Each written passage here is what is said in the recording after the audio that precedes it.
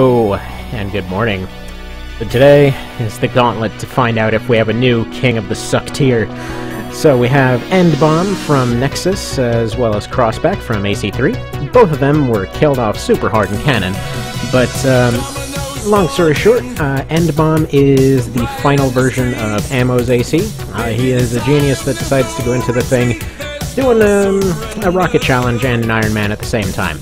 So he died, very hard. Uh, he can barely hit a thing, because, uh, you know, the AI can pull off some cool stuff every now and then.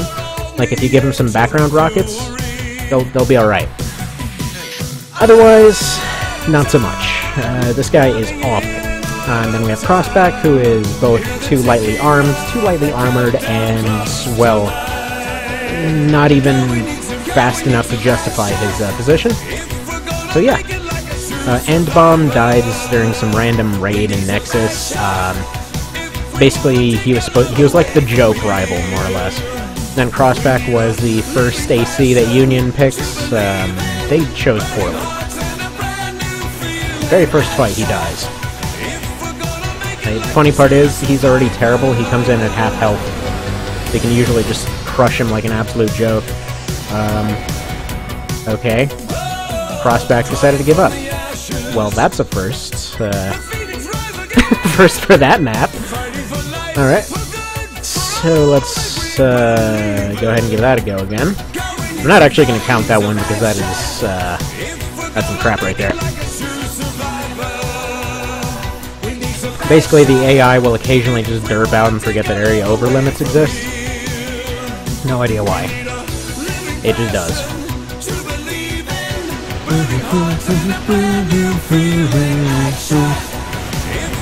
I think, but I probably should have gone and tried to make Megaduce with uh, double rockets.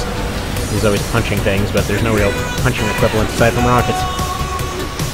Alright, so, uh, Crossback's pretty much relying on hit-and-run maneuvers here, but pretty much a few rockets are going to be enough to take him out entirely. I'm going to keep this one up, though we can have a general sense for how he's doing ammo-wise. Uh, he doesn't have that many. Uh, his large rockets are definitely more useful than they were in other games.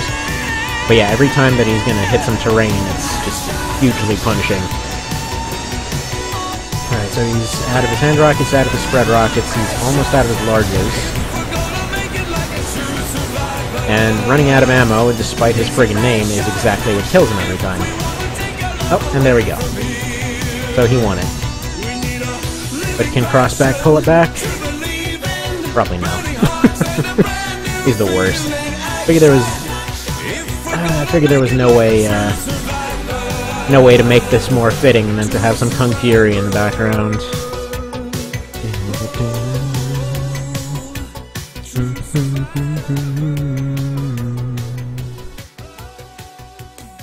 let's get the metal version of this out here.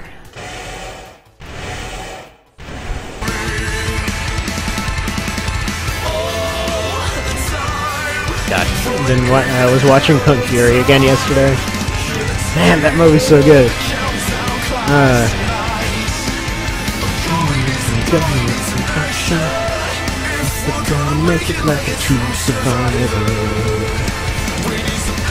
but yeah, if you haven't seen it, it's free on YouTube. It's basically the most 80s thing you'll ever see. Like, that's literally its point. It was a Kickstarter project a while ago.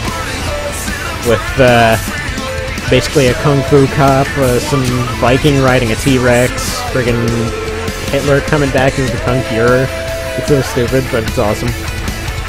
What's funny is, like, every single thing it did, I think uh, Danger 5 did at some point too.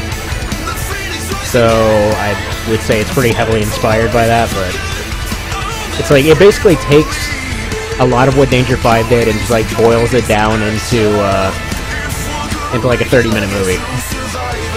So if you want like the, long-term funny stuff, go see the first season of Danger 5. If you want, actually no, second season of Danger 5 was the one that was all crazy in the 80s stuff. But uh, yeah, no, it's uh, it's a hell of a thing. You, you gotta see it. Like, Uh, the very first scene is a guy basically surfing on a Lamborghini shooting in, at essentially an arcade machine. I think that sums it up pretty well. oh man, I think... Okay, Crossback's got more of a chance. Oh no, he just gave it up. Never mind. This, this is what Crossback does best. He sets himself up with a chance, and then he just, like, completely screws it. This is just him in a nutshell. I think for giggles, we're gonna give him a shot against... What? Oh, I thought he was just firing into nothing for a second there. I think for giggles, we might give him a chance against uh, Cardboard. Because Cardboard and Crossback are like the, the two current kings of the garbage bin here. I'm gonna think about is Cardboard even still around? I think I might have overridden him. I'm gonna have to check. Figure goes close enough to to uh, Crossback losing the cardboard that he, he just retains that title. Hmm. That's gonna be one of the cow teams. There's a collective. No.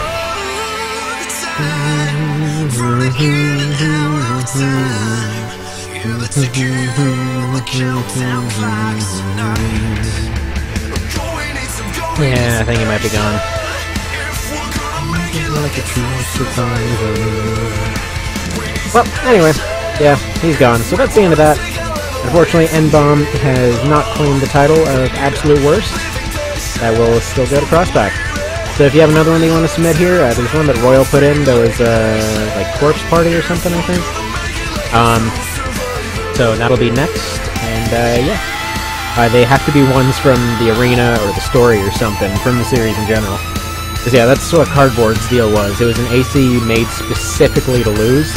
So it was only like the vertical launch small missiles that have a tendency to miss absolutely everything that isn't a pulverizer. It's a weird market to come out several generations before the enemy does. But oh well. That's the end of that. See you next time.